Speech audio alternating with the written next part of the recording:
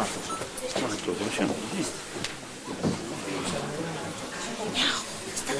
grande,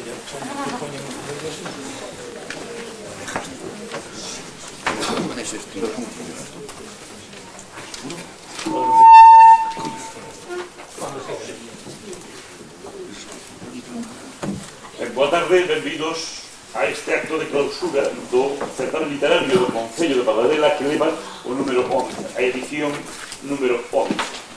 Moitas veces sonan os concellos ou as institucións por determinadas obras que se coidan que son importantes, pero sonan tamén por cuestións que parecen menores pero que son igualmente importantes. Paradela sona por ser un filo importante no camiño de Santiago, no camiño francesa Compostela, por ser un fito importante tamén da Ribeira Sacra, por ter unha paisaxe magnífica e desde fai 11 anos por ter un certamen literario na honra dun dos seus fillos predilectos.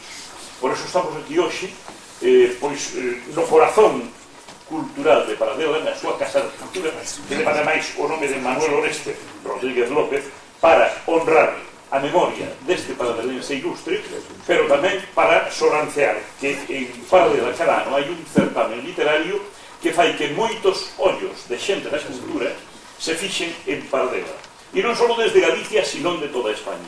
Porque no decurso do tempo, según van avanzando as edicións, vaise afianzando o certamen, van chegando eh, traballos pois prácticamente de todas as partes do mundo e os premios acreditan que como mínimo este ano tuvo resonancia nacional.